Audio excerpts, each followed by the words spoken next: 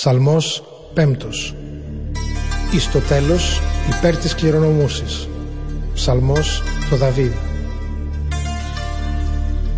Τα ρήματά μου ενώτησε Κύριε σύνες της κραυγής μου. Πρόσχες τη φωνή της δεήσεώς μου Ο βασιλεύς μου και ο Θεός μου. Ότι προσέ προσεύξομαι Κύριε. Το πρωί ακούσει της φωνής μου Το πρωί παραστήσω μέση και επόψime ότι ουχή Θεός θέλω να νομίαν σοι, ου παρικήσεις επονηρευόμενους, ουδέ διαμενούσι παράνομοι κατέναντι των οφθαλμών σου. Εμείς σας πάντα στους εργαζομένους την ανομίαν, απολύς πάντα στους λαλούντας το ψεύδος.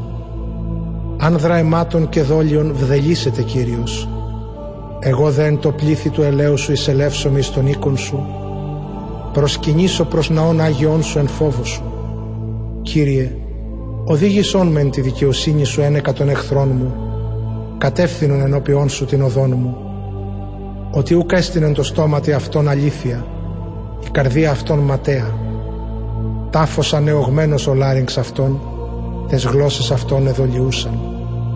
Κρίνον αυτούς ο Θεός, αποπεσάτουσαν από των διαβουλιών αυτών, κατά το πλήθος των ασεβιών αυτών έξωσον αυτούς, ότι παρεπίκρανάν σε, Κύριε και εφρανθήσαν πάντες οι ελπίζοντες επί σε, εις αιώνα αγαλιάσονται και κατασκηνώσεις εν αυτής και καυχήσονται εν σύ πάντες οι αγαπώντες το όνομά σου, ότι σύ ευλογήσεις δίκαιον, Κύριε, ως όπλο ευδοκίας εστεφάνωσας ημάς.